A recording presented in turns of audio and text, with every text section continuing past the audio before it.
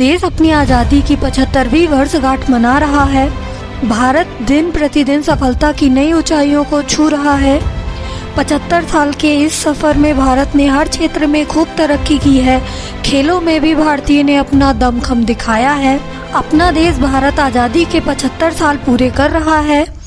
आज भारत की गिनती ऐसे देशों में होती है जो दिन प्रतिदिन सफलता की नई ऊंचाइयों को छू रहा है।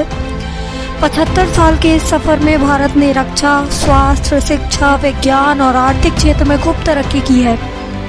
साथ ही खेलों की दुनिया में भी भारतीय खिलाड़ियों ने अपना दमखम खूब दिखाया है।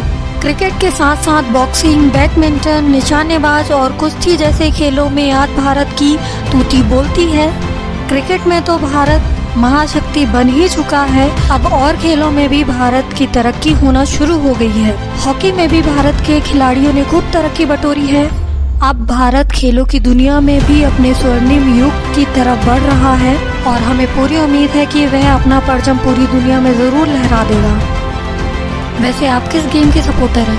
हमें कमेंट में ज़रूर बताइएगा और वीडियो पसंद आई हो तो इसे लाइक, शेयर और हमारे चैनल को सब्सक्राइब करना बिल्कुल भी ना भूलें। Thank you for watching